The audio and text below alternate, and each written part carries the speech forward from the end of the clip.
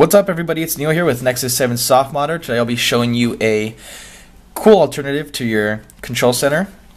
Instead of pulling this down, um, actually it's just this one, instead of just pulling this down for your quick toggles and whatnot, it's gonna actually replace it with an iOS style slash Android hybrid control center that you can pull up from the bottom. Which is uh, a lot more convenient because it uh, has a lot more and I kind of like how it works on iOS a little bit better. But it still looks Android inspired, so you'll see it right now. It's called a uh, iOS Control Center Quick Toggle, and it's available on Google Play. So let's just go through the settings real quick. So there you go, I just brought it up. Let's bring up the settings though. Uh, you want to enable, obviously.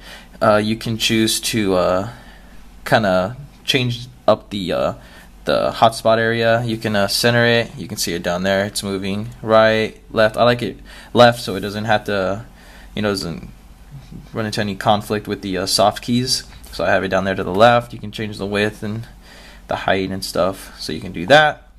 Uh, you can take off the arrow. See down there, the arrow's there now. You can take it off.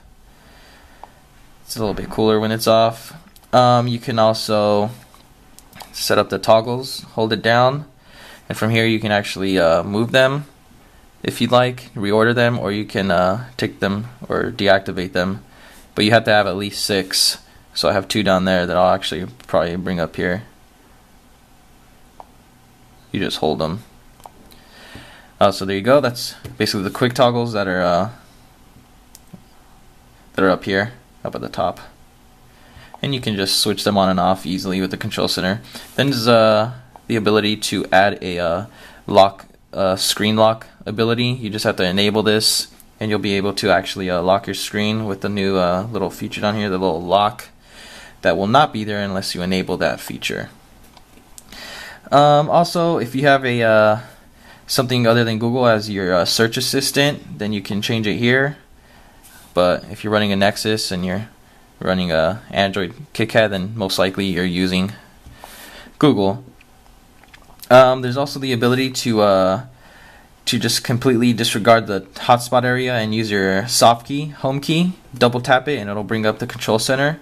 Uh, to do that, you just go right here and you'll have to actually activate it.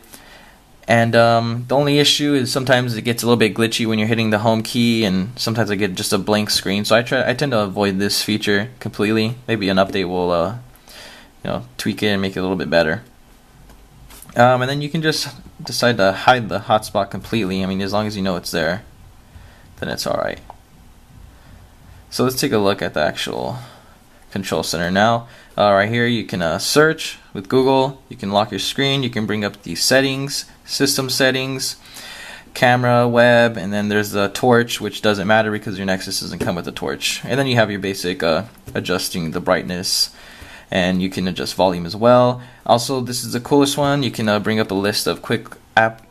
Sorry, you can bring up the quick app launcher where you can uh, sort it by all.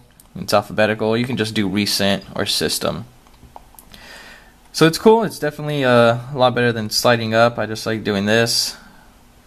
It looks a lot cleaner, and it's as I said, it's more of a hybrid of iOS and Android. If you can notice that. Uh, check out the full article on Nexus 7 Soft Modder. Like, comment, subscribe, and thanks for watching.